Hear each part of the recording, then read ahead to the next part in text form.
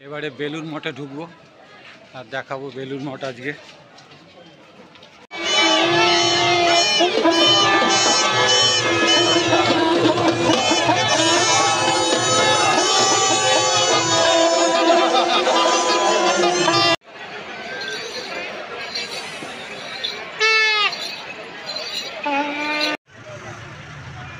এটা দেখছেন কাশীপুর উদ্যানবাটি আজকে আমাদের গন্তব্য হচ্ছে কাশীপুর উদ্যানবাটি চলুন ভিতরে যাই।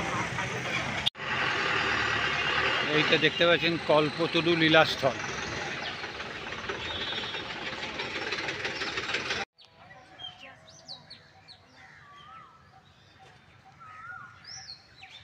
এখানে দেখতে পাবেন চিত্র প্রদর্শনী।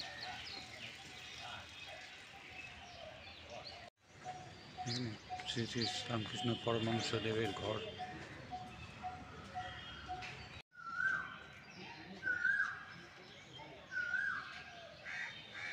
দেখতে পাচ্ছেন ফুলের সম্ভার। এই হচ্ছে সেই শ্মশান যেখানে ঠাকুর রামকৃষ্ণদেবকে দাহ করা হয়েছিল।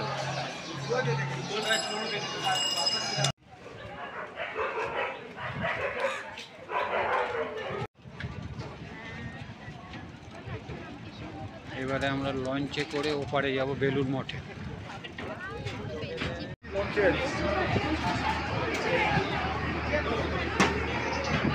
Ah!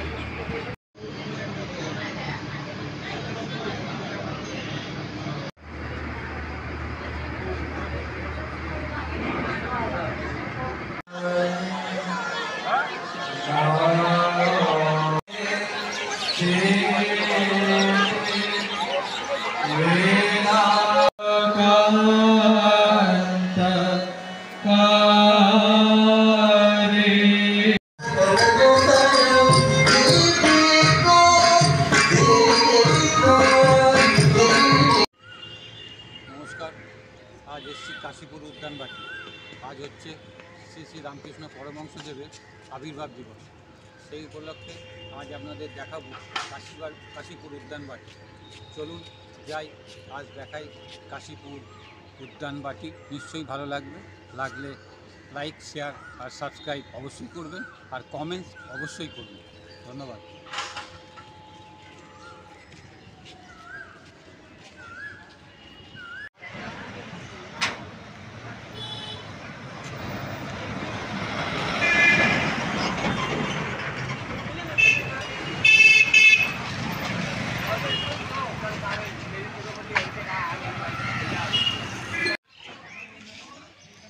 ঢুকেই হচ্ছে অফিস রুম আর এপাশে হচ্ছে রামকৃষ্ণ বিবেকানন্দ সাহিত্য, ফটো, বিভিন্ন রকম যে সামগ্রী আমরা কিনি, সেগুলো এখান থেকে পাবো। এই হচ্ছে অফিস রুম আর এই হচ্ছে রামকৃষ্ণ বিবেকানন্দ সাহিত্য। এই ভিতরে ঢুকে এইরকম।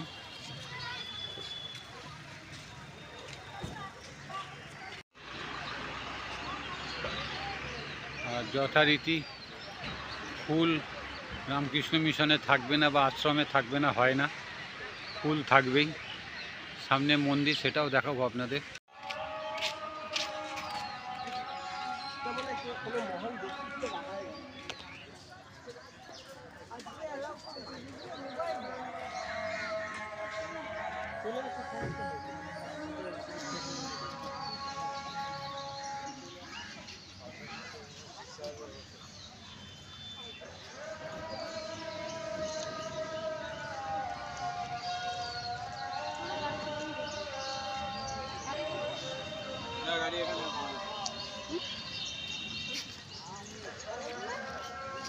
মাথা ঠিক আছে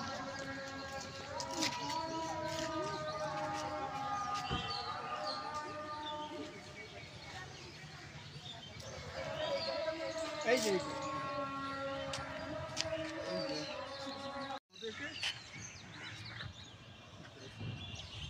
দাদারও একটা ফটো তুলে নি দেখা হয়ে গেল। কাশীপুর ইসলাম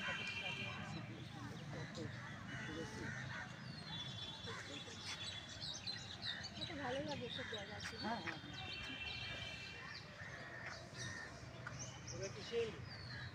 বাসে করে অটো করে এভাবে আসছে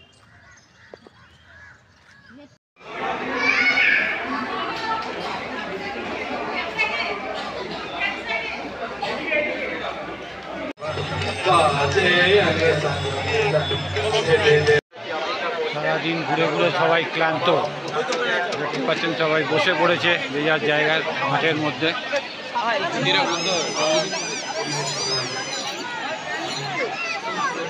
দেখুন, সবাই বসে পড়েছে। উপরের ঘরে থাকতেন ঠাকুর, আর নিচের ঘরে সীমা থাকতেন, আর মাঝের ঘরে ঠাকুরের গৃহ সন্তানেরা থাকতেন। আর দক্ষিণের ঘরে স্বামীজি ও ত্যাগী সন্তানেরা থাকতেন। সেটাই এখানে দেওয়া আছে। নমস্কার। আজ শ্রী শ্রী ঠাকুর রামকৃষ্ণ পরমহংসদেবের আবির্ভাব দিবস। সেই জন্য মহাতীর্থ কাশীপুর উদ্যানবাটি সম্বন্ধে দু চার কথা আপনাদের বলব। ভগবান শ্রী রামকৃষ্ণদেবের অন্তর্লীলাস্থল এই কাশীপুর উদ্যানবাটি সামনে যে গাছটা দেখছেন সেই গাছটাই হচ্ছে। আঠেরোশো পঁচাশি খ্রিস্টাব্দের এগারোই ডিসেম্বর থেকে আঠেরোশো ছিয়াশি খ্রিস্টাব্দের পনেরোই আগস্ট পর্যন্ত তিনি স্থূল শরীরে এখানে বাস করে। দ্বিতলের প্রশস্ত কক্ষে তিনি থাকতেন। তার সেবার জন্য একতলায় উত্তর পূর্ব কোণে এক ক্ষুদ্র প্রকোষ্ঠে সীমা সারদা দেবী, মধ্যবর্তী হল ঘরে গৃহী ভক্তরা এবং দক্ষিণের ঘরে যুবক ভক্তরা বাস করতেন। এখানে তিনি আঠেরোশো ছিয়াশি খ্রিস্টাব্দের পয়লা জানুয়ারি আত্মপ্রকাশপূর্বক সকলকে অভয় প্রদান করেন। এই ঘটনাটি শ্রী শ্রী ঠাকুরের কল্পতরু হওয়া বলে পরিচিত। নরেন্দ্রনাথ প্রভৃতি যুবক ভক্তগণ, এখানে শ্রী রামকৃষ্ণের সাক্ষাৎ পরিচালনায় কঠোর আধ্যাত্মিক সাধনায় মগ্ন হন। শ্রী রামকৃষ্ণ নরেন্দ্রনাথকে ভাবি রামকৃষ্ণ সংঘের নেতা রূপে তৈরি করেন এবং চারপাশে লিখে দেন, নরেন শিক্ষে দেবে। তিনি নরেন্দ্রনাথের ভিতর সমস্ত শক্তি সঞ্চার করে বলেন, এই শক্তি বলে তুই জগতের কাজ করবি। এই যে ঘরটা আপনারা দেখতে পাচ্ছেন, এখানে মা সারদা দেবী ঠাকুর রামকৃষ্ণ পরমহংসদেবের জন্য রান্না করতেন। আর পাশেই দেখতে পাচ্ছেন লাইব্রেরি। এই যে উপরের ঘরটা আপনারা দেখতে পাচ্ছেন, এখানেই শ্রী রামকৃষ্ণ বারো জন ভক্তকে গৈরিক বস্ত্র দেন এবং বিজ্ঞান মনস্ক এবং যুক্তিবাদী নরেন্দ্রনাথের সমস্ত সন্দেহ নিরসন করে তাকে বলেন, যে রাম, যে কৃষ্ণ, সেই ইদানিং এই শরীরে রামকৃষ্ণ।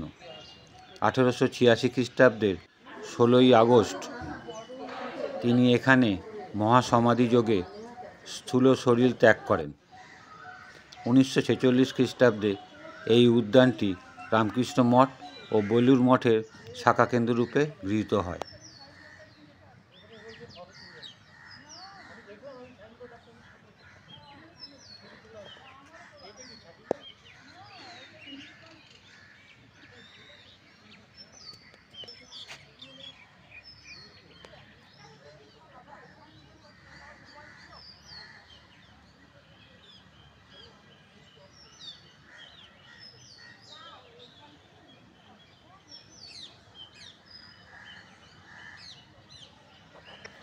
কাশীপুর উদ্যানবাটি থেকে বেরিয়ে আপনারা অটো বা হেঁটেও আসতে পারেন রতনবাবু ঘাটে। দেখতে পাচ্ছেন এটা রতনবাবুর ঘাট। আর ঠিক ওই পারটা হচ্ছে বেলুর মঠ। আর রতনবাবুর ঘাটের ঠিক পাশেই হচ্ছে কাশীপুর শ্মশান। ঠাকুরকে এখানেই দাহ করা হয়েছিল। আর ভিতরে ঠাকুরের সমাধিস্থল আছে। ফটো তোলা নিষেধ, তাই আপনাদের দেখাতে পারলাম না। এবারে আমরা বেলুর মঠ যাব, এবার আপনাদের বেলুর মঠ দেখাবো। এইখান থেকে ন টাকার টিকিট করে আমরা বেলুর যাব। আজকের বেলুর মঠকে আপনারা চিনতে পারবেন না। কারণ আজ হচ্ছে শ্রী শ্রী ঠাকুর রামকৃষ্ণ পরমহংসদেবের আবির্ভাব দিবস। তাই আমরা প্রথমে এসেছিলাম কাশীপুর উদ্যানবাটি পরে আসলাম কাশীপুর শ্মশানঘাট যেখানে ঠাকুরকে সমাধি করা হয়েছিল। আর এখন এসেছি বেলুর মঠ। দেখতে পাচ্ছেন, চারিদিকে শুধু মাথা আর মাথা। এই দেখুন, প্রচুর মানুষের ঢল আজকে, যেহেতু আজ ঠাকুরের আবির্ভাব দিবস।